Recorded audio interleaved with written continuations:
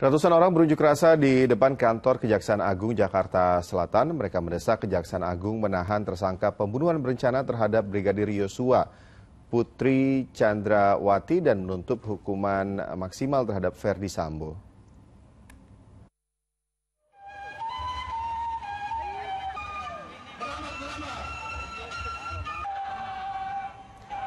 Selain berorasi, ratusan masa yang berunjuk rasa juga mengusung foto-foto almarhum Brigadir Nofrian Syah Yosua Huta Barat dan berbagai spanduk tuntutan lain di depan kantor Kejaksaan Agung Jakarta Selatan pada Senin siang. Banyaknya masa mengakibatkan kemacetan lalu lintas karena Jalan Raya Bulungan menjadi titik pusat aksi.